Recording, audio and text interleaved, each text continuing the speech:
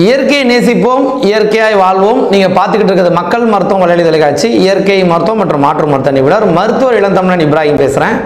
என்னுடைய பழைய வீடியோ புதிய வீடியோ இரண்டையும் முதல் முறையாக பார்க்குறோம். கீழே இருக்கிற பெல் பட்டன் பக்கத்தில் இருக்கிற சப்ஸ்கிரைப் பட்டன் அழுதுங்க. ஃபேஸ்புக் வாட்ஸ்அப்பில் ஷேர் பண்ணுங்க.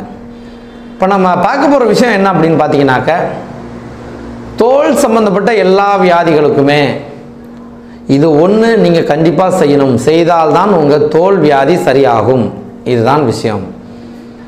அப்போ எல்லோரும் நினச்சிட்டு இருப்பாங்க ஆஹா ஏதோ ஒரு முக்கியமான ஒரு மூலிகை சொல்கிறாரு அந்த மூலிகை நம்ம அப்படியே அப்ளை பண்ணிட்டோம்னா உடனே தோல்வியாதி சரியாக போயிடும் அப்படி கிடையாது.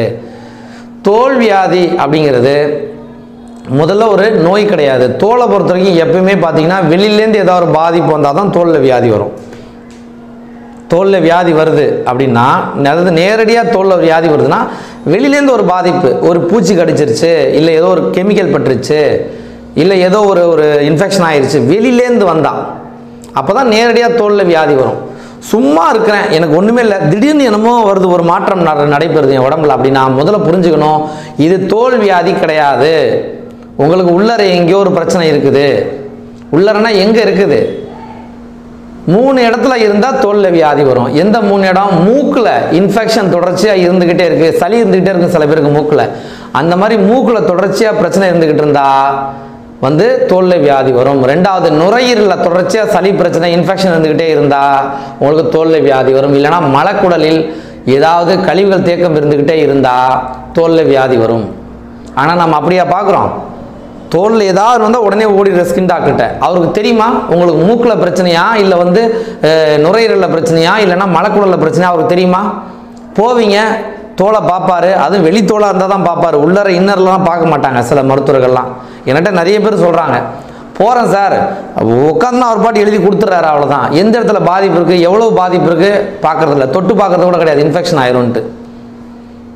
அது எந்த இடமா இருக்கட்டும் உள்புறமோ வெளிப்புறமோ எந்த இடமா இருக்கட்டும் பார்க்கணுமா இல்லையா? பார்க்கறதே கிடையாது. காரணம் என்னன்னா நாமளும் அது கேட்கறதில்ல. போவோம் சொல்றோம் வந்து கொடுக்குறோம் வந்துடும் ஆனால் தோலில் தான் வியாதின்னு எப்படி நீங்கள் முடிவு பண்ணீங்க?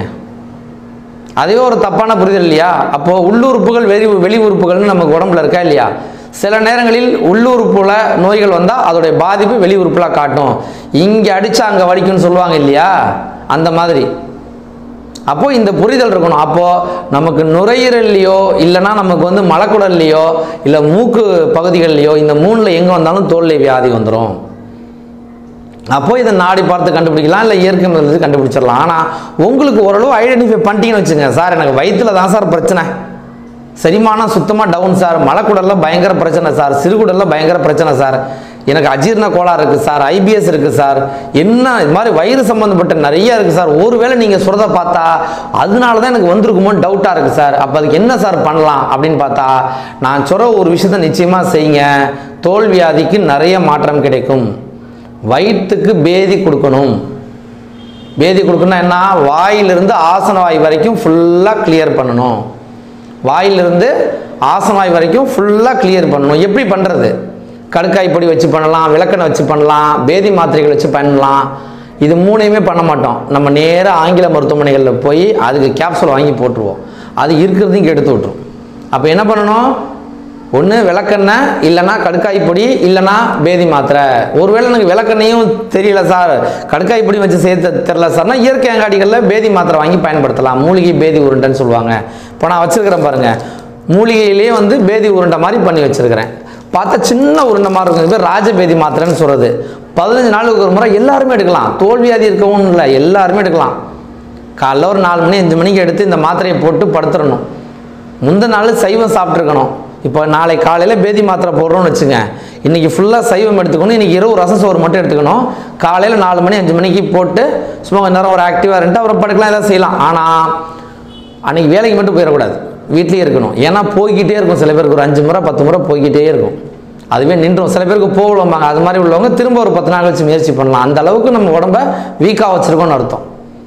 அப்போ இது நீங்கள் பேதி கொடுத்தீங்க அப்படின்னா அழகாக உங்கள் வயிற்றில் இருக்கிற அந்த கழிவுகள் டாக்ஸின்ஸ் எல்லாம் வெளில வர ஆரம்பிச்சிடும் எப்போ இறைப்பையும் மலக்குடலும் சிறுகுடலும் உங்களுக்கு நல்ல சுத்தமாயிருச்சோ தோல் சம்மந்தப்பட்ட வியாதிகள் வரவே வராது.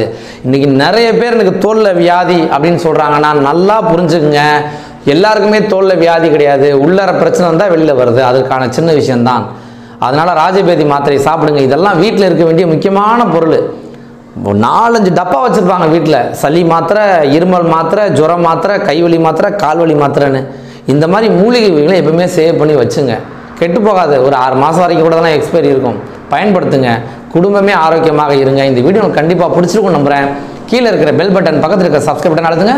ஃபேஸ் வாட்ஸ்அப் மற்றவங்களுக்கு ஷேர் பண்ணுங்கள்